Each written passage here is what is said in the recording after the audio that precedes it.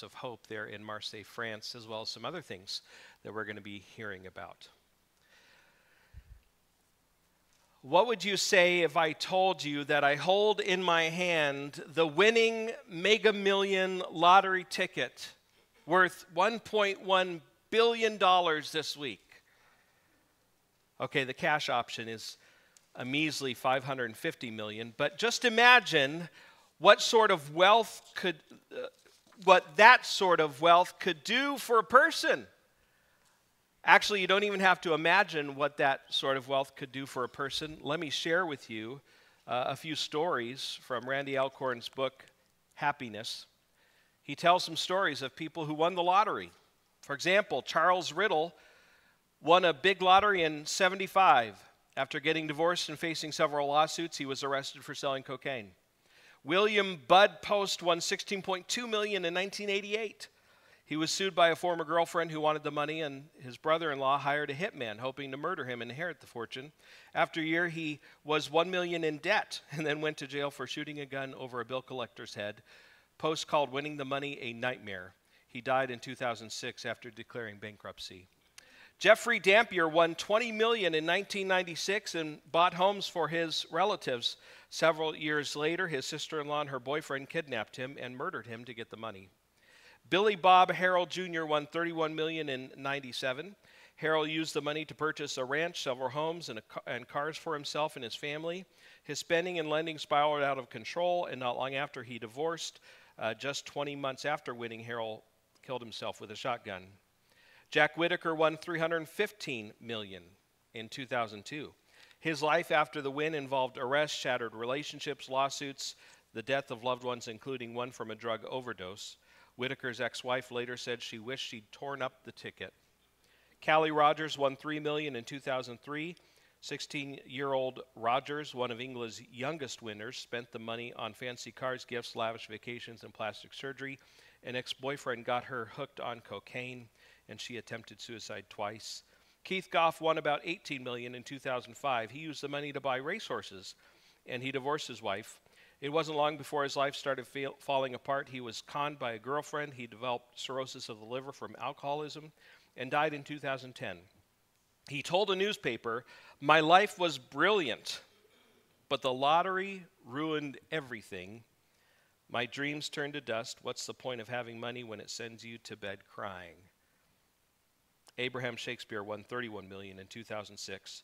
Shakespeare went missing in 2009 after spending most of the money. A few months later, his body was found under a slab of concrete. I know what you're thinking. Those poor people, most of them only won tens of millions. If they'd won 550 million, then that would have been the difference. They would have found happiness. But isn't that the American dream? It doesn't have to be the lottery. It could be investing in that stock or that company that becomes an overnight success and makes you rich. Maybe it's in inventing that one must have item like the Squatty Potty, which, after appearing on Shark Tank, has resulted in sales of 175 million. Or it's Teri Horton, who stumbled across a painting in a thrift shop in San Bernardino that looked like a paint store threw up on canvas. She bought it for $5. Uh, when she had it valued by an expert, he told her it was a Jackson Pollock worth 50 million. That was in 1992. She died in 2018, never having been able to get the money she wanted for it. But isn't that the American dream?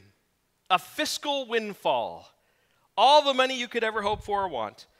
We have this notion that if we just had X amount of dollars, we would be happy. And in spite of the fact that story after story after story shows us to be false, we still keep chasing that ever elusive bacon, Benjamin's, cheddar, clams, whatever you want to call it. Back to the question what if I had the winning ticket? Well, you may be surprised to know that if you look up the biggest lottery winners in Oregon, my home state, number two on that list Coming in at 182.7 million is Daniel Gannon. That's right. Some of you are thinking Dan's been holding out on us. It's actually my cousin. And no, he never shared any of his winnings with me. But I can say with a fairly high level of confidence the winnings did not bring him happiness, certainly not the kind of happiness that lasts, the happiness of God. So, if happiness is not found in what has surely been one of the most sought out sources of happiness throughout the history of the world, money, then where is happiness found? Honestly, this is really the question underlying this entire sermon series. After last Sunday, however, we know where happiness is not found. It is not found in autonomy, that is, self rule, doing whatever I want, as modeled for us by our great, great, great, great, great, great, great, great, great grandparents, Adam and Eve. In profound contrast to Adam and Eve's example, today we turn our focus to a true source of joy, and that is the Jesus way as we find it in Matthew 5, verses 1 through 12. I invite you to turn to Matthew 5 as you take your sermon outlines from your bulletins. Extras are on the back table. You may recognize Matthew 5 as the beginning of the most famous sermon ever preached, the Sermon on the Mount. And you may recall that this sermon begins with some of the most famous, or maybe I should say infamous, words Christ ever preached. Talk about the polar opposite of Adam and Eve's example of seeking happiness in self rule. Listen to where Jesus says happiness is found. And I'm going to read this morning from the Good News Translation. Jesus saw the crowds and went up a hill where he sat down. His disciples gathered round him and he began to teach them. Happy are those who know they are spiritually poor. The kingdom of heaven belongs to them. Happy are those who mourn. God will comfort them. Happy are those who are humble. They will receive what God has promised. Happy are those whose greatest desire is to do what God requires. God will satisfy them fully. Happy are those who are merciful to others. God will be merciful to them. Happy are the pure in heart. They will see God. Happy are those who work for peace. God will call them his children. Happy are those who are persecuted because they do what God requires. The kingdom of heaven belongs to them. Happy are you when people insult you and persecute you and tell all kinds of evil lies against you because you are my followers. Be happy and glad, for a great reward is kept for you in heaven. This is how the prophets who lived before you were persecuted. Now, the first thing you probably notice about my reading of today's passage is the word happy in place of blessed. We're going to get to that. But first, I want us to see just how countercultural are Jesus' words here. And I really think that sometimes familiarity breeds contempt when it comes to the words of Christ. And we read them and we go, oh, yeah, we've heard that before. We know what he's talking about. And sometimes Christ's words lose their edge. But I want to convey this morning that what Jesus says in Matthew 5 is edgy. It is countercultural. It would have caused his listeners to scratch their heads in wonderment at what he was saying. I mean, if you think about some of the things that he says, I mean, happy are the poor in spirit, mourners, the persecuted, that doesn't sound like happiness to me. I don't know, maybe Adam and Eve's way, seeking autonomy, self rule, doing whatever I want. Maybe that's more appealing. Not only that, but in this age where everyone seems to be clamoring to prove they've had it worse than somebody else, Jesus' words come off as a bit insensitive. Happy? How can I be happy given my upbringing, my poverty, ever increasing rent. And everyone's just been so unfair to me. One of the songs that come to my mind most often in our culture today is I've been cheated, been mistreated. When will I be loved? I mean, isn't that our culture? Everyone's clamoring to say, I've been treated worse. I even saw this the other day in an interview with Steph Curry. Steph Curry, an NBA All Star with the Golden State Warriors, may be the greatest shooter of all time. Statistically, he has made more three pointers than anyone in history. Sorry, Sonics fans, that includes Ray Allen, who comes in at second beneath Steph Curry. Yet you know what was emphasized about his story? Can you guess?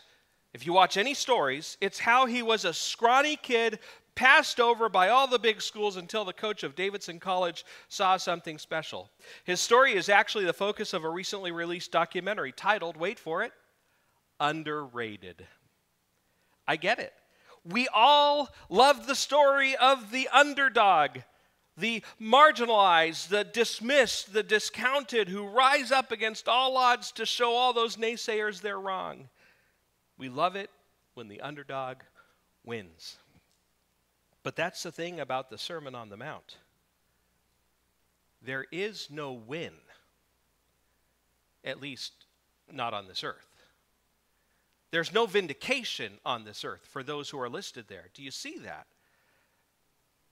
I mean, it doesn't say, Blessed are the poor in spirit, for you're going to win the lottery if you just follow Jesus.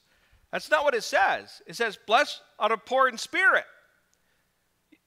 That's it. You're, you're going to continue to have hard times, except for the blessings that come for God, otherworldly blessings. There is no get rich quick scheme here in Matthew 5. In fact, it's the opposite. Jesus' message is not follow me, I'll make you rich and famous. It's follow me and you'll end up poor and persecuted. Make the title, make, I, I should say, make that the title of your next self help book, right? And honestly, it's just rude to say to the down and out, be happy. Be happy. But this is Jesus' message. His message here is to capture the offensiveness of his message in his milieu. Modern interpreters must let Jesus' radical demands confront us with all the unnerving ferocity with which they would have struck their first hearers. You see, we as believers who have heard this passage many times before, we may nod our heads and say, That's nice. That's lovely. Jesus' first hearers would have said, Hearers, they would have said, What? No. No, Jesus, we want you to be a king who will conquer these oppressors and give us victory, vindicate us in this earth. But that's not what Jesus says. The point Jesus makes is that the very things that his audience would have equated with being cursed are actually the realities reflective of greatest blessings, of happiness. But you must understand, Jesus' message is only intelligible if you embrace his alternate reality. Reality according to the kingdom of heaven, as your first outline point has it in the Jesus way, kingdom matters matter most. It is the kingdom that is at the heart not only of the Beatitudes, but of the entire Sermon on the Mount. The Jesus way is grounded in, centered around, derived from the reality of the forever kingdom of heaven. Jesus' message to his followers is that if they would follow the Jesus way and experience true happiness, the kingdom of heaven must trump their own little man made kingdoms. Now, I want you to see how the author, that is Jesus, emphasizes the kingdom of heaven. If you look at the first verse of this uh, sermon, verse 3, and then the last verse of the Beatitudes, verse 10, do you see that they are similar? They are book-ended, as it were, with the same phrase theirs is the kingdom of heaven. Verse 3 Blessed are the poor in spirit, for theirs is the kingdom of heaven. Verse 10 Blessed are those who are persecuted because of righteousness, for theirs is the kingdom of heaven. What Jesus does there is he puts emphasis on the kingdom of heaven. He's preaching kingdom realities in the Beatitudes. That is why they seem so strange, because they do not reflect the values of our world. Look at verse 3 again. Blessed, happy are the poor in spirit how is that happy? How is that blessed? In his classic, The Pursuit of God, famed preacher of old A.W. Tozer says this He says, These blessed poor are no longer slaves to the tyranny of things. They have broken the yoke of the oppressor, and this they have done not by fighting, but by surrendering. Though free from all sense of possessing, they yet possess all things. Theirs is the kingdom of heaven. Have you noticed that when people talk about oppression in our culture, they're usually talking about those who are keeping the poor from getting what they deserve money, stuff. But when Tozer talks about the oppressor, he says it is the money, it is the stuff that oppresses us, that we need freedom from. And though we may have little possessions on earth, we possess all things in Christ. Our culture says we've broken the yoke of the oppressor when we stick it to the man and get the wealth we deserve. Jesus says we've broken the yoke of the oppressor when worldly wealth is no longer that which holds sway over us. In heaven's eyes, the poorest wretch with Jesus is richer than any Forbes top 500 member without him. Do you believe that? The problem is our faith is so small that we struggle to embrace kingdom realities. Look at verse 4. Blessed are those who mourn, for they will be comforted. For all of us who have mourned the passing of someone we love, it's hard to see the blessing in it, isn't it? But what is reflected here is something similar to that which Paul states in 1 Thessalonians chapter 4 verses 13 and 14. 1 Thessalonians 4 13 says, Brothers, we do not want you to be ignorant about those who fall asleep, or to grieve like the rest of men who have no hope. We believe that Jesus died and rose again, and so we believe that God will bring with Jesus those who have fallen asleep in him. He doesn't say, don't grieve. He says, don't grieve like those who have no hope. You see, when you live under the shadow of the cross, instead of under the shadow of death, you grieve differently because you know that the grave does not spell the end. If death is actually the end, as a materialist or an atheist might advocate, then there is no hope beyond the grave and no reason to hope. But if you belong to the eternal kingdom of God, then death doesn't mark the end but the beginning. It's why I like the euphemisms people have found for a funeral, like celebration of life or homegoing. For those who trust Jesus, death is when our greatest life really begins certainly we grieve loss. Whether it's losing all of our belongings in a fire, or losing our health and quality of life due to illness, or losing someone we love. But in all these things, we still have happiness because happiness isn't circumstantial. We won't spend a great deal of time on that topic because it was already covered in sermon number six, The Secret to Contentment, Philippians 4. You can see that on our website. In general, however, we don't think of the circumstances described here as very positive. For example, verse 10 Blessed are those who are persecuted because of righteousness, for theirs is the kingdom of heaven. Happy are the persecuted? So you're saying that the missionary mother and daughter kidnapped in Haiti this week should be happy?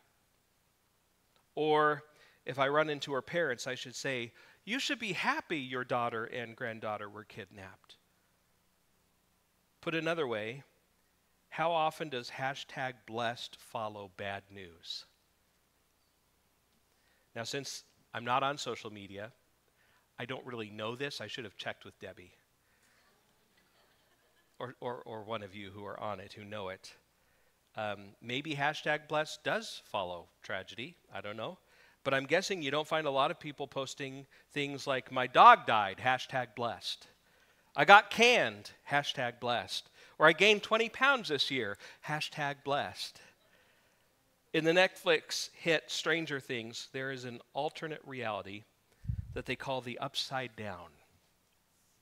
It's a reality that mirrors the normal world, but it's twisted and full of monsters. I don't think it's a great stretch to say that Jesus' original audience, upon hearing this sermon, would have seen the reality Jesus was preaching as upside down. as twisted, even monstrous. It's likely most of those listening to Jesus as he preached on that hillside were the poor, were the marginalized, were the oppressed. You think they wanted Jesus to tell them they should be happy? Are you getting a sense for just how radical, how countercultural, how offensive the Beatitudes would have been for his hillside audience?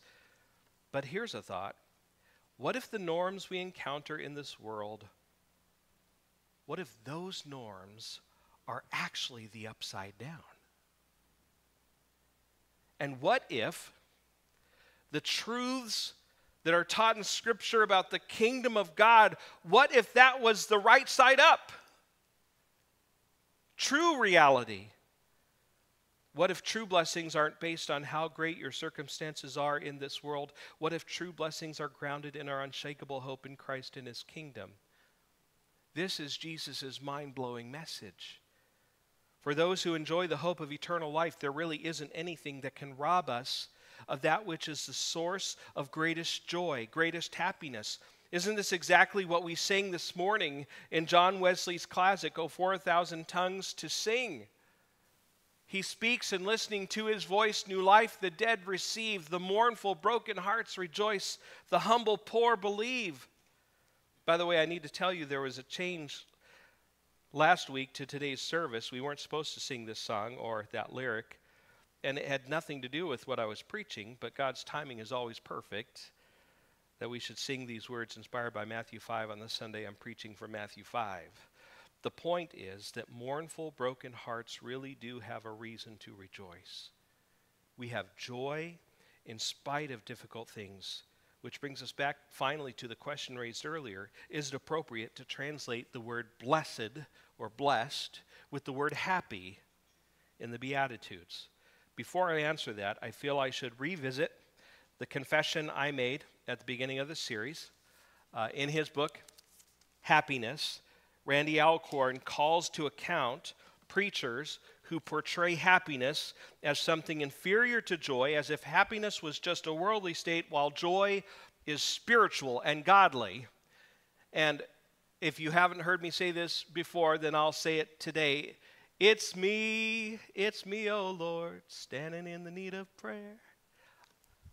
I have actually preached sermons where I've said the very thing that happiness is inferior and joy is spiritual. I was wrong. That was incorrect. Alcorn argues that this distinction is simply not biblical, and you know what? He's right. We don't see it in Scripture. So let me say it again, in case you missed it.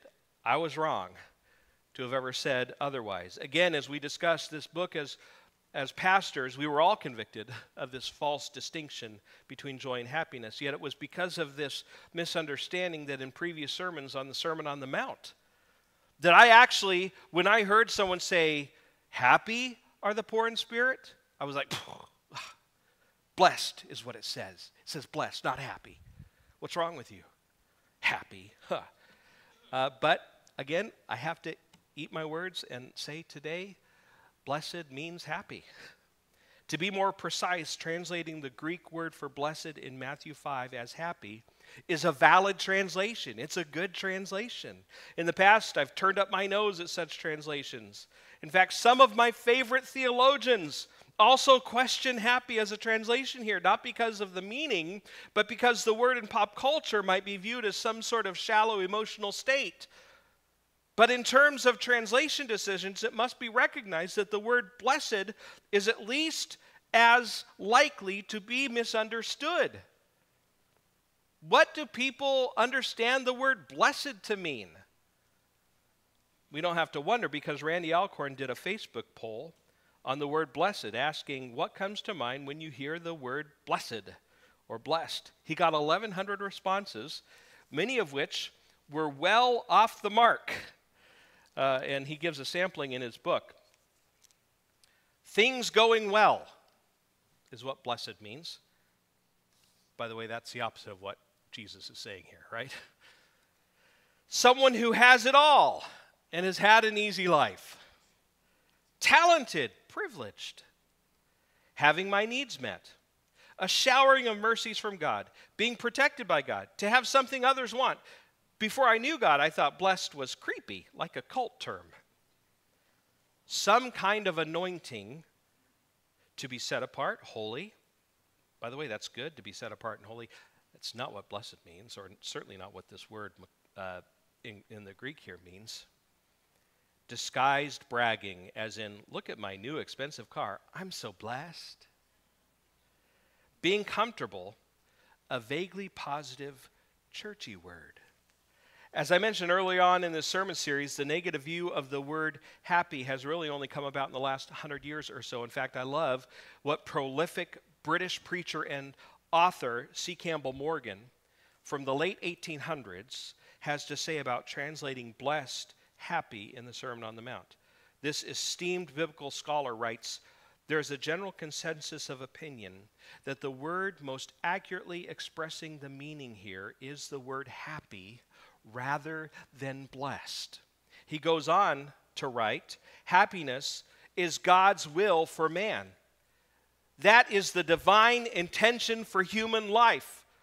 Sorrow and sighing are to flee away, right? You know the song, sorrow and sighing will flee away. It says, no, he will wipe away all tears. Happiness and joy are never to flee away. We will never banish merriment and laughter. Happy is the first word of the manifesto. Is a word full of sunshine, thrilling with music, brimming over with just what man is seeking after in a thousand false ways. He uses the word manifesto because he considers the Sermon on the Mount to be Jesus' kingdom manifesto.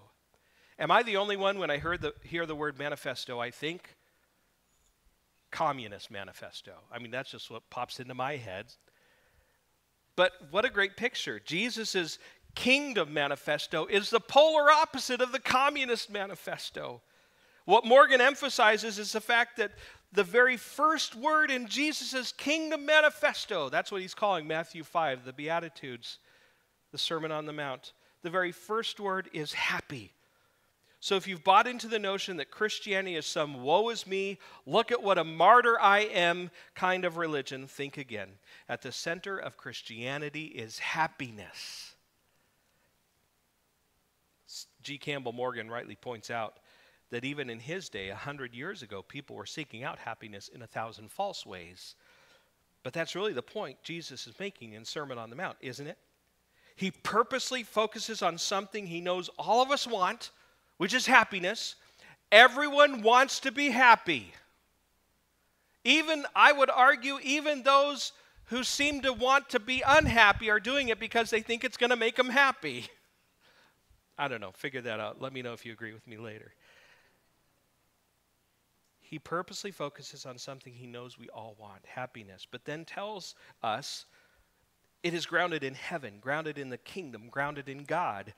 As Morgan goes on to write, then we notice that happiness is declared by the king to depend not on doing, not on possessing, but on being. It is what a man is that matters. The Communist Manifesto is all about possessing and doing. The Kingdom Manifesto is about being. It's who you are that matters. It is kingdom over cash, character over climbing conviction over clickbait. By climbing there, I'm thinking of climbing the corporate ladder or whatever else kind of climbing that you do to get better in this world, to have nicer stuff, or whatever it is that you everyone's aiming for. Conviction over clickbait. You know clickbait. The images on a website you find that tempt us by means of our selfish desires, but they eventuate in computer viruses or garbage websites or separating you from your money. This world is filled with clickbait.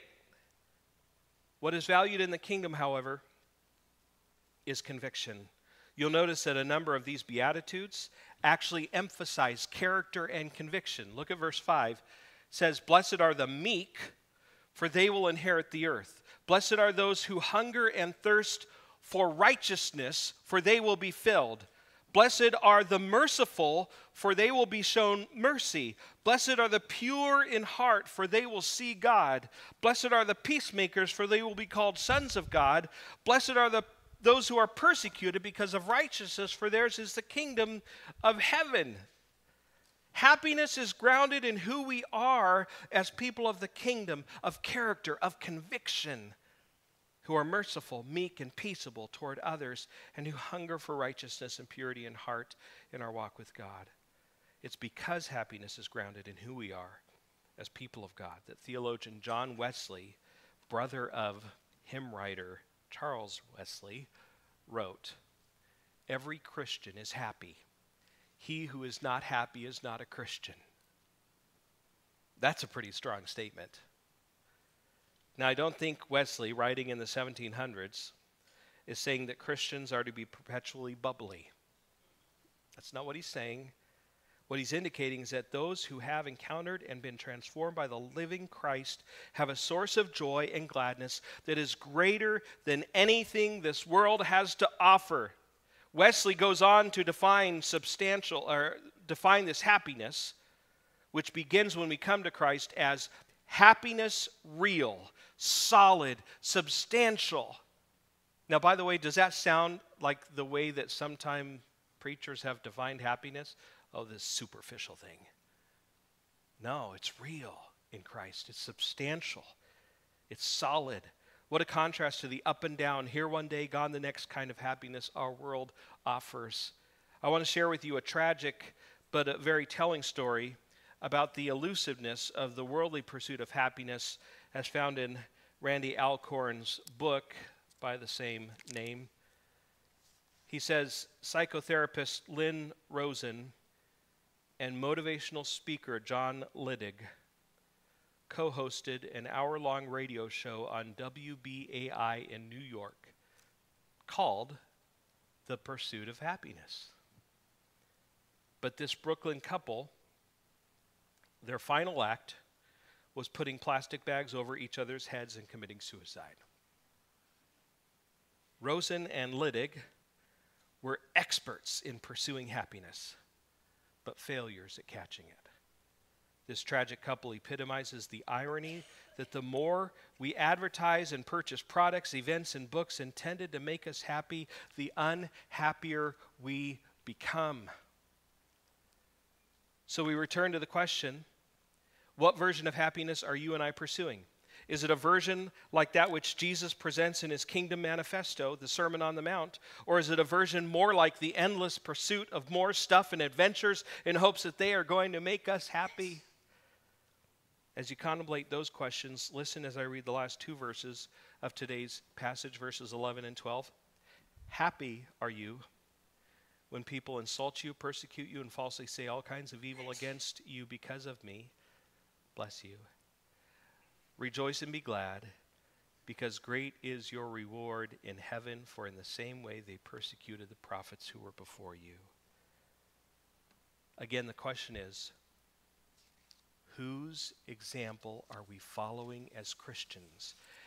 And you know the reason I'm asking that question is because I know I struggle to remember whose example I'm supposed to be following. Do you struggle?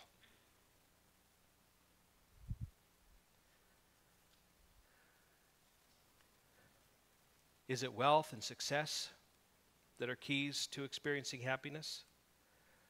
Whether it's investing lots of money in lotto tickets or investing ourselves in the daily grind in hopes of a comfortable retirement, again, whose example are we following?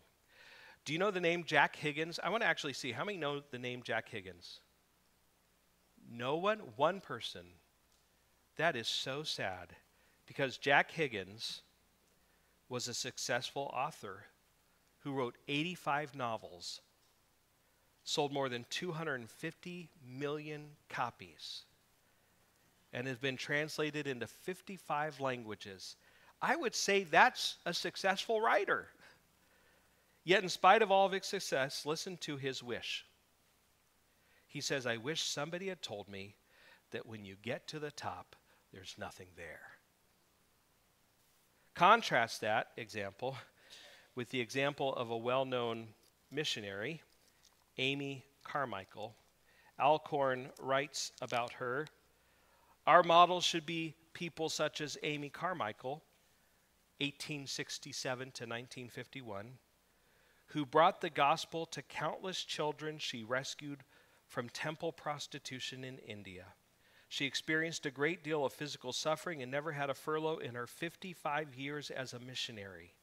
Yet she wrote, There is nothing dreary and doubtful about life. It is meant to be continually joyful. We are called to a settled happiness in the Lord, whose joy is our strength.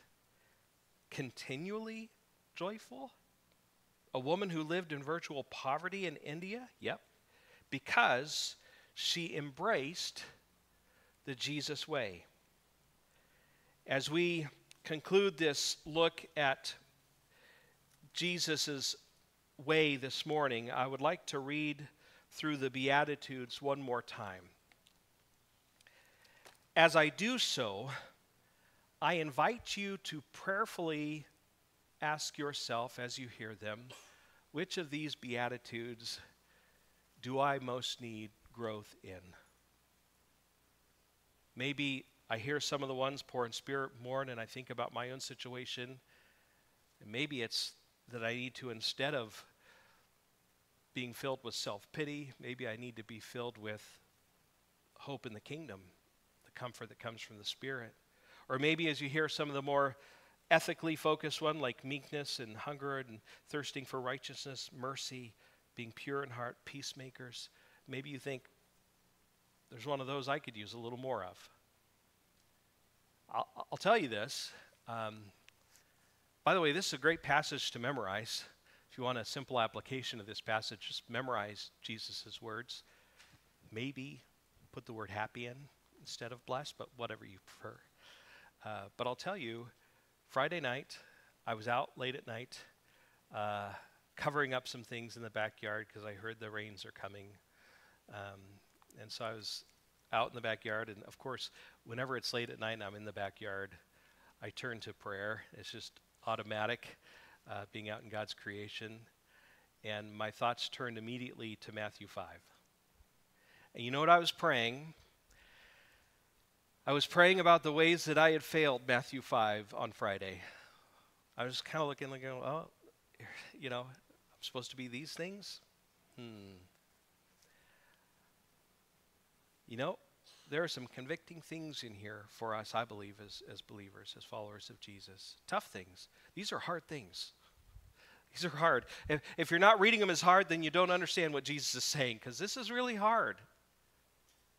I just invite you, as I read these words, ask yourself which of these things apply to you right now that God would have you work work on in your life by the power of the Holy Spirit. Happy are the poor in spirit, for theirs is the kingdom of heaven. Happy are those who mourn, for they will be comforted. Happy are the meek, for they will inherit the earth. Happy are those who hunger and thirst for righteousness, for they will be filled. Happy are the merciful, for they will be shown mercy. Happy are the pure in heart, for they will see God. Happy are the peacemakers, for they will be called sons of God. Happy are those who are persecuted because of righteousness, for theirs is the kingdom of heaven. Happy are you when people insult you, persecute you, and falsely say all kinds of evil against you because of me. Rejoice and be glad, because great is your reward in heaven. For in the same way they persecuted the prophets who were before you. Just take a moment few moments of silent prayer right now, and then I'll close us.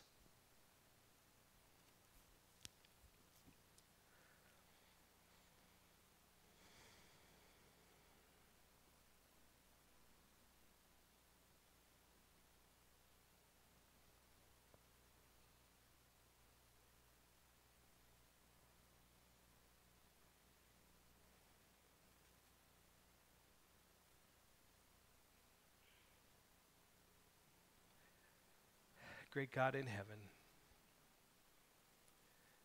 we give you thanks this morning that you offer us a happiness which this world does not know about, a happiness that only comes from you, a happiness of a different way of life, happiness that is grounded in your kingdom. God, we confess that too often we find ourselves following the example of our world. and its views of happiness rather than your word and what we're taught here in Scripture. But Lord, we pray that you'll help each of us as your followers more and more to pursue the Jesus way, to find happiness not in the things that we do or the things we possess, but in who we are, the hope that we have in you. Jesus, thank you so much for this hope that is deep, that is unending, that is unshakable. Help us as we leave this place to live in that hope and to reflect the happiness that is described in these verses. We prayed in Christ's precious name. And all the people said, Amen. I invite you to stand for our benediction that comes this morning from the last words we find in the book of Philemon. And this is what it says The grace of the Lord Jesus Christ be with your spirit. Amen. Amen. Amen.